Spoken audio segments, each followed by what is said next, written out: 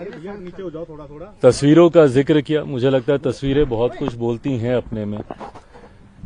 इतना मैं ज़रूर बोलूँगा कि लोक जनशक्ति पार्टी रामविलास के मौजूदा बिहार में राजनीतिक घटना चक्र को देखते हुए कई सारी चिंताएँ कई सारे कंसर्न्स हम लोगों के रहे हैं। ये कंसर्न्स और ज़्यादा तब बढ़ जाते हैं जब कोई अधिकृत जानकारी सामने नहीं आती है। मीडिया के माध्यम से कई तरीकों के क्यास सामने आते हैं, कई तरीकों की संभावनाएँ सामने आती हैं। पर हकीकत क्या चल रही है, ये सही जानकारी जानना ज़रूरी था। पिछले दो तीन दिन से इसीलिए मैंने इस बात को स्पष्ट किया हुआ था कि जब तक अधिकृत जानकारी नहीं आती है, तब तक इसके ऊपर बयानबाजी करना अगर मगर के प्रश्नों के जवाब देने का कोई मतलब नहीं है। इसीलिए दो दिन तक मैंने इसके ऊपर कुछ कहा नहीं था। आज इतना ज़रूर है कि मेरे और इन, इस दौरान मैं ज़रूर भारतीय जनता पार्टी के शीर्ष नेतृत्व के संपर्क में था। ये जानकारी ज़रूर प्राप्त हो रही थी कि कुछ चीज़ें हैं जिसको लेकर जो सुखबुगाहट है, वो सही है। आज उन तमाम विषयों पर मेरी भारतीय जनता पार्टी के राष्ट्रीय अध्यक्ष जेपी नड्डा जी, केंद्रीय गृह मंत्री आदरणीय अमित शाह जी से मुलाकात हुई। लोक जनशक्ति पार्टी रामविलास ने अपनी तमाम बातों को, अपने तमाम कंसर्न्स को, अपनी तमाम चिंताओं को उनके समक्ष मजबूती से रखा है। उनके द्वारा भी एश्योरेंस कई विषयों पर दिया गया है।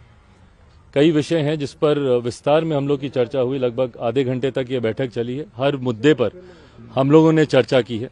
ये चर्चाएँ अभी और आगे भी चलेंगी। लोकसभा का चुनाव भी सर पर है। सीटों को भी लेकर कई और विषय हैं जिसको लेकर चर्चा होनी है।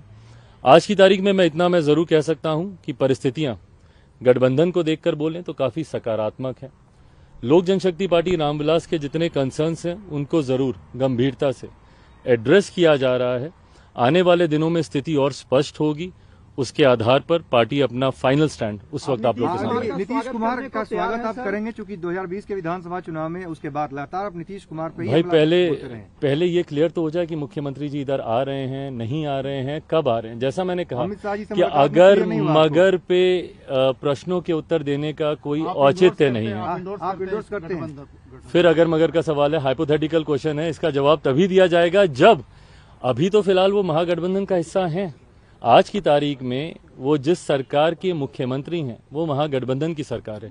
जब वो इस्तीफा दे देते हैं और जब इधर आने की औपचारिक घोषणा कर दी जाती है पार्टी उस पर भी अपना रुख